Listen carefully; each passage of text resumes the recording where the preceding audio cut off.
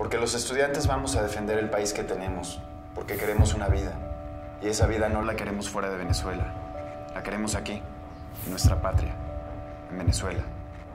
Hagamos eco de lo que está pasando en Venezuela.